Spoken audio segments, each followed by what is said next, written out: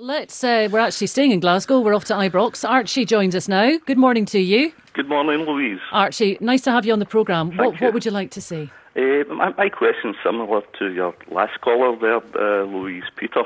Uh, I, I, would also like to ask how can the No campaign guarantee their offer of new powers mm. for the Scottish Parliament when any new legislation would have to be agreed by mm. Westminster? Okay, so you're looking for guarantees. that English, oh. Welsh, and Ulster MPs okay. could or would block any proposals that favour Scotland to the detriment or disadvantage of the rest of the United Kingdom? Okay.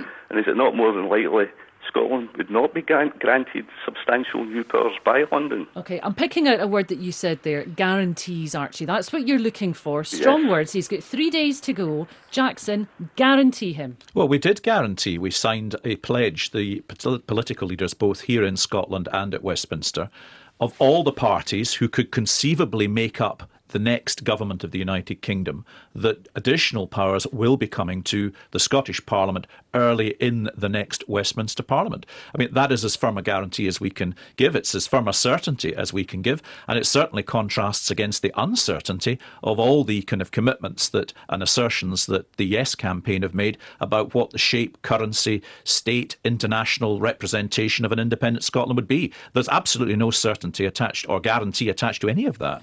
Isn't this saying then that if Scotland votes no, the constitution of the UK uh, will be redrawn, regardless of what the English, Welsh, or Northern Irish think?